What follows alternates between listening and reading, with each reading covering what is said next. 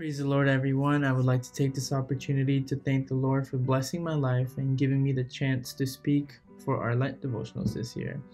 Um, oftentimes, when presented with such an opportunity, uh, I notice that I gain a transformation myself and learn more about God and His ways and the things He's done for me in my life. Um, bring back the focus for today's Lent devotional. For today's devotional, we're going to talk about serving and love why are these correlated? What is the connection between these two words? So let's talk about serving first. Serving is defined as performing duties or services for another entity. As a Christian, God calls us to serve Him and only Him while ignoring the noise that happens within this world. And it, it happens in societies, in our friends, in our family, anything. He calls us to commit to Him wholeheartedly and allow ourselves to be transformed through the Holy Spirit and with His unconditional love. Through this commitment only will we be able to understand and approve of God's perfect will. God calls us to serve in many ways. Uh, a common pattern I've noticed is to use the gifts given to us by the Holy Spirit and to use these gifts to glorify Him and spread the good news.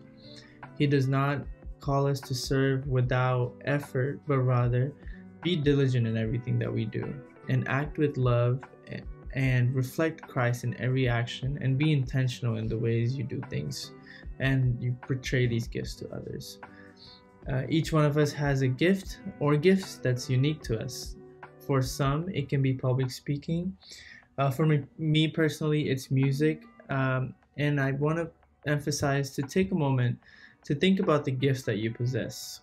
Understand these gifts and make an effort to nurture them and use them vigilantly to empower God and glorify Him and use it for His glory only.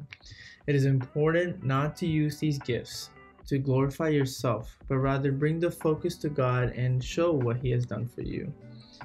As we just learned, gifts are a great way to spread when done diligently. Another component to using gifts is to serve the power serve with the power of the Holy Spirit with them. And another important part of this is to do with love as well. Do it with sincere love and hate what is evil. In difficult times, we often react um, negatively and forget to take a moment to respond with love. Since we're only human, oftentimes this is the route that we take. It becomes difficult to think this way when we act through the lens of anger, envy, hate, but God calls us to act with love regardless of the situation. It is not our job to avenge for God, what God will repay. This is mentioned in uh, Romans chapter 12, verse 17. And to bring everything together, remember the gifts you have and nurture them. Use them every day understand them so that you can use it to serve the Lord through the power of the Holy Spirit and not just not just with our effort but rather diligently but also with love. Thank you.